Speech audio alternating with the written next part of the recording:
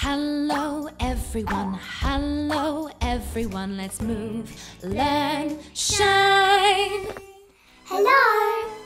The other point of difference for us are the 700 songs that have been recorded specifically for GymbaROO Kindy at a slow speed, which some parents find challenging because it is slow.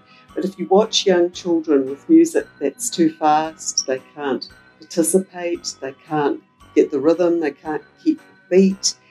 And so they end up just sort of jiggling around and not being able to participate fully.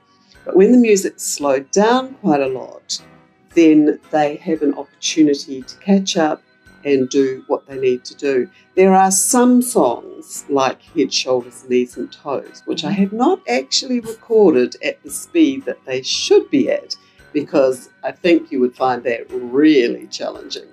But uh, by and large, the music's pretty slow, and so therefore, if we get a criticism um, about the program, it will be from parents who think the music's too slow.